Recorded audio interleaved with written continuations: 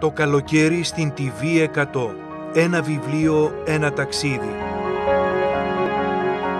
Οι συνεντεύξεις και τα αφιερώματα που αγαπήσατε. Συνομιλίες με συγγραφείς που ξεχώρισαν.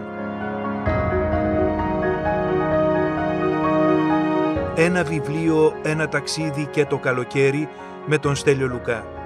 Κάθε Δευτέρα και Σάββατο στις 2 το μεσημέρι στη Δημοτική Τηλεόραση Θεσσαλονίκης.